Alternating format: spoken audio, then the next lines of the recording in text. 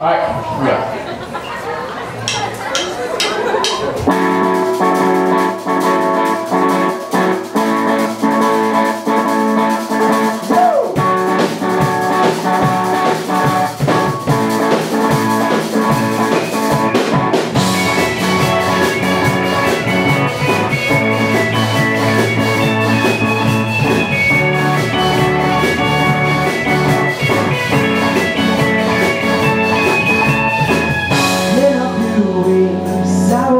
Time to think about this right before my eyes and I can take it.